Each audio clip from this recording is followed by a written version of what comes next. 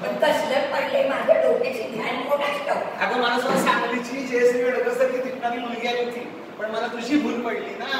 आमच्या आईला गोरं कातड हवं होतं. हे आता गोरं कातड सगळं पांढरं पांढरं झालं हो, नाहीतरी काय खरं माझ्या गोऱ्या रंगाला भुलून कितीतरी चांगली चांगली स्थळं मला आली होती पण आमच्या आईला मुलगा चांगला बँकेचा नोकरीचा आहे म्हणून ते लागलं मला काय करता बदरी पडलं आणि पवित्र झालं मला तरी कुठं कुठं कळलं हे वरून गोर आहे आतनं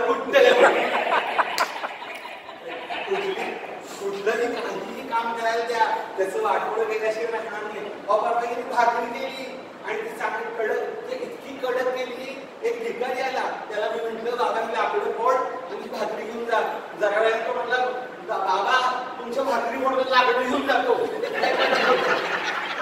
अहो खरं म्हणजे मी ती भाकरी केलीच नव्हती यांना ती भाकरी वाटली मी आपलं ते काय म्हणतात ना खाल्लं गाडीमध्ये काय खाल्लं? खाकरं ते खाकरं केलं होतं तर यांना आपलं वाटलं की मी भाकरीच केली आणि लागले नावं ठेवायला. पोळी करू पुरी करू नाही खाकरा करू. मला मात्र पोटला बसल्याशिवाय राहत नाही आम्ही ठरलेलं आहे काही खायला घेतलं की आधी पाण्याचा तांब्या घ्यायचा.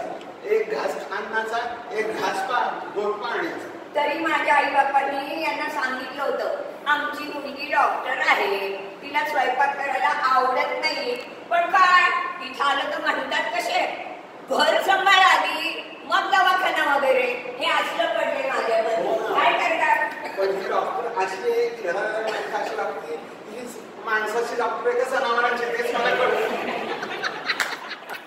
हे अशी जनावरं वळायची म्हणजे मला जनावरं डॉक्टर व्हायला पाहिजे. हो? अगदी बरोबर आहे. मी कुत्रा असल्यासारखं तुम्हाला लाथा घालतीस बैलासारखं राबायला लावतीस आणि गाढवासारखं लाथा घालतीस. ज्याची कशी लायकी तसं त्याला फळ